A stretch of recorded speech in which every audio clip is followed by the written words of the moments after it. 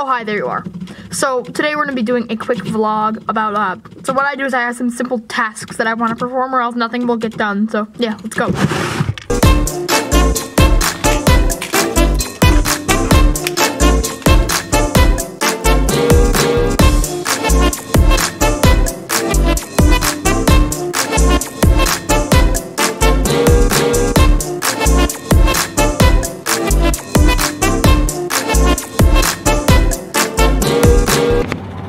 So say you're at a vending machine, you wish to get a soda, and you use coins to pay, but you change your mind and you want a snack, and you press the coin return button. Would you get the same coins back or a different coin back? Because you hear it fall into the coin hopper, the coin collection bin. So what would happen? Please comment below, uh, see if you're right. So let's head over to a vending machine, go check it out. I don't own this shed. So I am now at a vending machine. Uh, this vending machine is made by Automatic Products International. So I'm gonna put this coin into the coin slot. Here it fell into the bin, and I press the return button.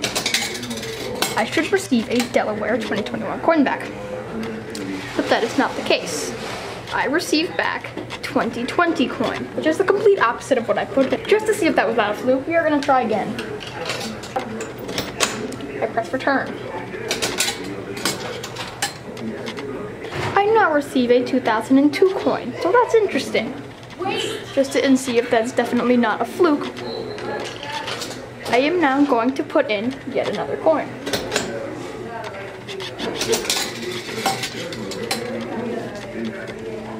And now I receive my Delaware coin back.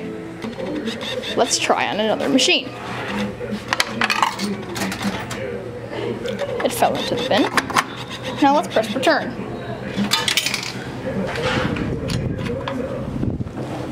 A completely different coin.